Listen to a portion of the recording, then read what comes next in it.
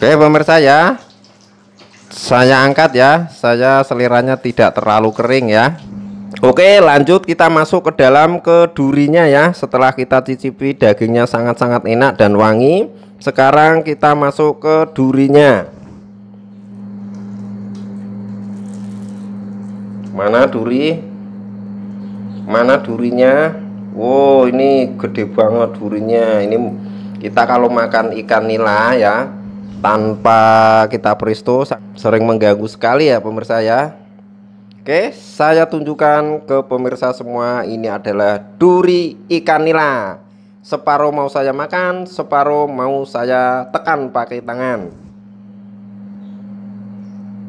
Oke ini separuh ini yang separuh mau saya makan. Bismillahirrohmanirrohim Alhamdulillah. Ini rasanya rasanya nggak kayak makan duri nih. Tetapi rasanya seperti makan daging biasa. Hmm gurihnya enaknya wanginya semuanya masuk sampai ke dalam duri-durinya. Luar biasa ya dengan cara membelah ikan membumbu ikan dengan dibelah ya. Oke saya tunjukkan lagi ke pemirsa semua ya. Ini adalah duri sisanya yang saya dimakan saya tunjukkan ke pemirsa semua apakah benar-benar empuk ya. Tanpa pembuktian Anda akan tidak percaya ya. Jadi Chef Adi selalu membagikan resep-resep dan video selalu dengan pembuktian-pembuktian. Agar apa? Agar Anda yakin, agar Anda percaya kalau ini bukan rekayasa ya. Oke, saya tekan pakai tangan ya. Iya nih ya pemirsa nih lihat duri seperti ini ya. Tuh kan. Cuma diremet pakai tangan kita gini-gini pakai kuku eh pakai kuku ini lihat. Sudah sangat-sangat hancur empuk sekali. Dan ketika tadi saya tadi makan durinya luar biasa makan duri serasa makan daging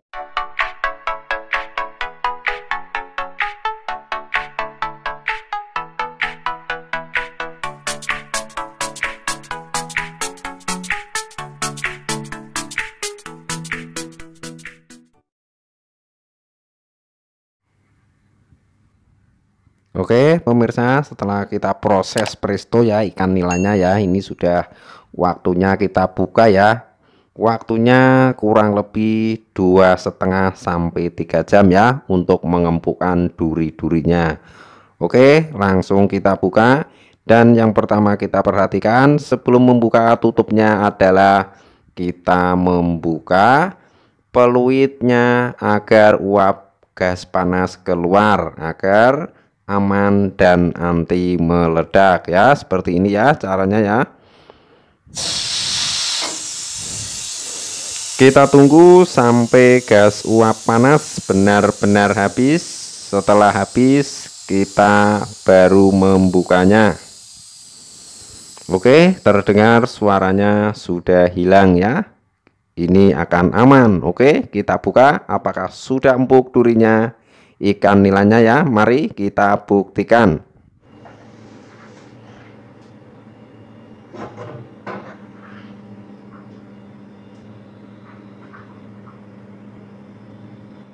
Oke pemirsa terlihat ya sudah kita angkat nilainya ya. Perhatikan pemirsa ya ini adalah dengan cara yang tidak dibelah tetapi disisik atau sisiknya kita buang ya. Terlihat bersih ya. Dan ini yang kita belah tetapi sisiknya tidak kita buang ya. Masih utuh ya. Dan yang ini kita belah dan sisiknya kita bersihkan ya. Seperti ini tampilannya ya. Dan yang ini adalah yang tidak dibelah tetapi sisiknya juga tidak dibuang ya. Dari keempat atau kelima jenis ini silakan pemirsa dinilai ya dari tampilannya cantik yang mana menarik yang mana. Di sini Chef Adi hanya membagikan berbagai macam cara teknik pembersihan dari segi rasa nanti ya kita buktikan mantap yang mana enak yang mana. Kalau Chef Adi merekomendasikan pasti bumbunya jelas mantap yang dibelah ya. Karena bumbunya bisa maksimal ya. Oke langsung saya tunjukkan kepada pemirsa semua ya bagaimana untuk keempukan durinya ya.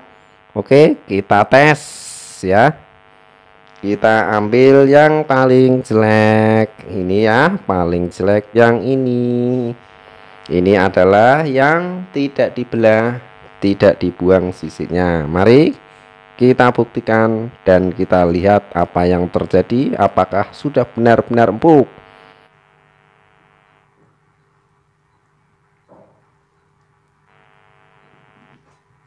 Kita mulai dari bagian kepala dulu ini bagian kepalanya coba saya remote begini.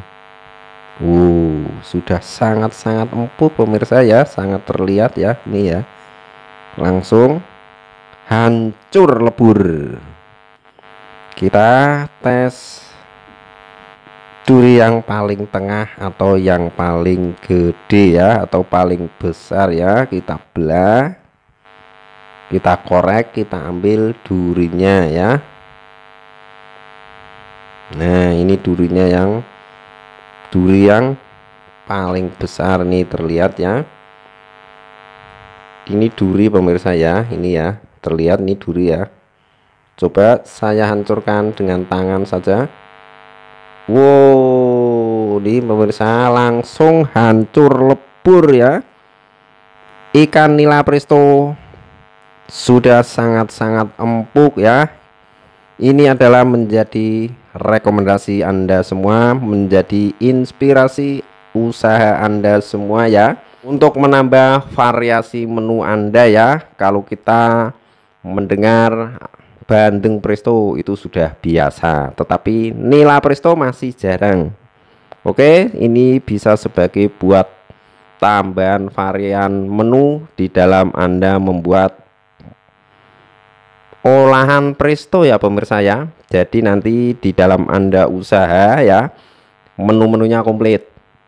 Ada bandeng presto ada ayam presto ada bebek presto ada burung presto ada puyuh presto ada nila presto ada gurame presto dan lain-lain. Nanti kita kembangkan ya pemirsa ya. Oke langsung kita langsung kita goreng pemirsa dan nanti akan Chef Adi review ya. Enak yang mana dengan empat cara yang Chef Adi bagikan. Kita langsung goreng ya pemirsa ya. Oke pemirsa terlihat di depan pemirsa semua bahwa semua ikan-ikannya ini teksturnya sangat utuh. Tidak ada yang hancur tidak ada yang patah karena apa? Karena memakai panci presto by Chef Adi atau panci presto rancangan Chef Adi ya yang sudah sedemikian saya rancang untuk berbagai macam olahan presto dan saya menyatakan anti hancur ya. Dengan rancangan yang seperti ini di dalam panci presto terdapat loyang-loyang ini akan mempermudah dalam kita mengangkat ikannya. Selain itu dengan loyang seperti ini akan membentuk ikan menjadi rapi dan tentunya pasti anti hancur ya. Di channel-channel Sewadi sudah saya share video-videonya. Bagi pemirsa yang belum menonton bisa dicek video-videonya tentang panci presto tentang keistimewaannya dan kelebihan-kelebihannya ya jadi kalau anda semua memakai panci presto yang tidak ada loyang-loyangnya seperti ini dan ikan ini terendam di dalam air dan kita presto pastinya Sefadi menyatakan pasti hancur karena ikan-ikan ini terendam di dalam air sehingga pada waktu kita mau mengangkat susah ya. Selain itu teksturnya nggak bisa kering karena terendam air secara terus-menerus selama kita presto sehingga menyebabkan hancur ya. Selain itu juga bentuknya nggak rapi nggak cantik oke? Pemirsa jadi sudah tahu ya bahwa keunggulan kelebihan panci presto by Sefadi yang saya rancang. Bagi pemirsa yang belum menonton videonya dicari di channel saya banyak sekali ya. Sudah saya tayangkan sampai pembuktian-pembuktiannya ya. Oke pemirsa mari kita goreng ya. Ikan prestonya nila prestonya yang mana dulu ya yang mau saya goreng ini. Minyaknya sudah panas dan siap akan saya goreng dan nanti akan saya testimoni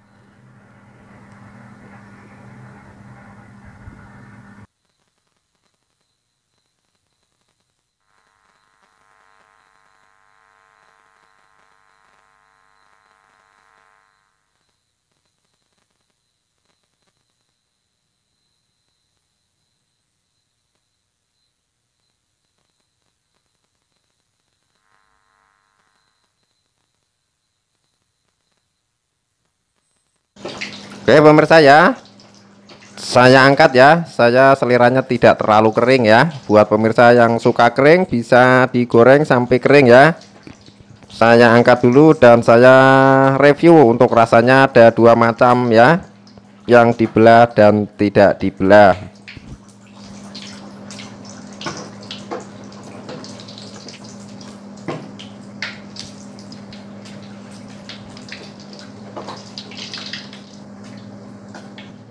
Oke pemirsa sudah mateng anget-anget siap disantap ya.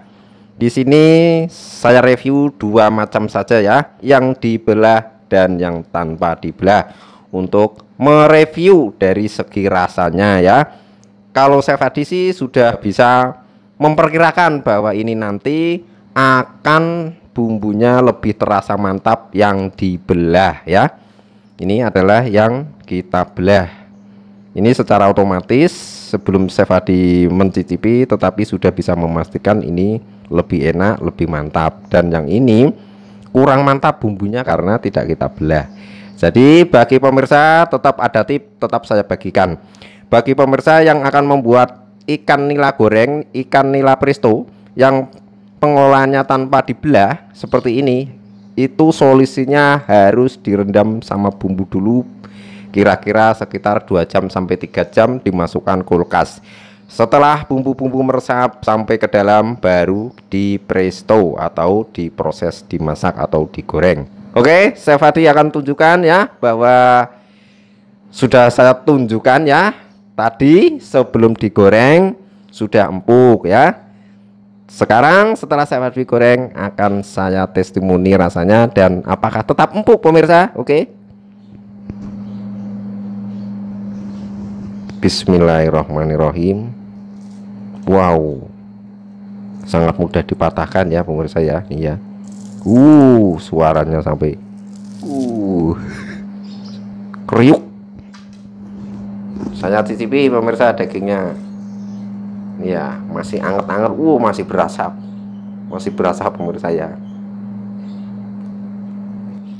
Pemirsa ternyata benar dugaan Sefadi ya bahwa karena ini tidak dibelah jadi bumbunya kurang meresap sampai ke dalam. Jadi bumbunya hanya terasa di luar saja. Ketika masuk ke dalam bumbunya tawar ya. Coba kita tes lagi lebih dalam lagi durinya ya. Kita ambil durinya ya. Nah ini bagian durinya mau saya ambil. Saya ambil durinya pemirsa. Saya ambil durinya. Di sini yang separuh mau saya makan. Nih separuh mau saya makan. Empuk sekali pemirsa. Empuk sekali. Serasa enggak bukan duri. Serasa ini hanya seperti daging saja pemirsa. Terus saya tunjukkan ke pemirsa yang tanpa dimakan saya remet saya tekan pakai tangan. Nih ya perlihat. Lihat. Uh benar-benar empuk sekali ya pemirsa ya. Sudah jelas sudah terbukti ya. Nila Presto durinya empuk. Lanjut review yang kedua. Yang ikannya dibelah Iya nih ya bumbunya sampai dalam pemirsa nih ya. Saya titipi dagingnya.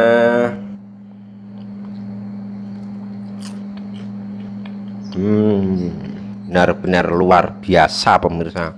Sangat-sangat enak Bumbunya wangi Lezat, gurih sampai ke dalam-dalamnya ya pemirsa ya.